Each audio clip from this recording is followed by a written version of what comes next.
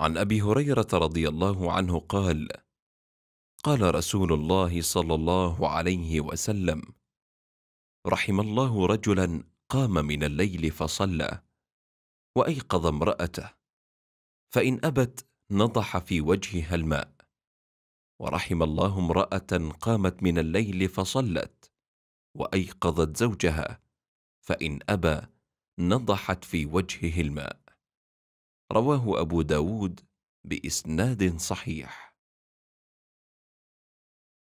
عن عمر بن الخطاب رضي الله عنه قال قال رسول الله صلى الله عليه وسلم من نام عن حزبه أو عن شيء منه فقرأه فيما بين صلاة الفجر وصلاة الظهر كتب له كأنما قرأه من الليل.